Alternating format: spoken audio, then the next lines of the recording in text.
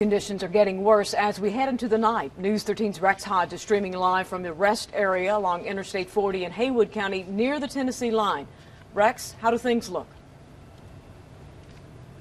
Well, in this part of Haywood County, we've had a little bit of everything snow, sleet, freezing rain, even a lot of wind.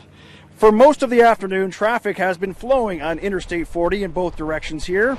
I talked to the DOT maintenance yard in Clyde, and they tell me roads have been well salted, but the roads could become much more dangerous as we head into the nighttime hours. Uh, As the temperatures fall and they get into the teens, uh, the material we put out is not as effective. We just do the best that we can and uh, rely on our uh, incident management unit and patrol to help us coordinate uh, where we need to be.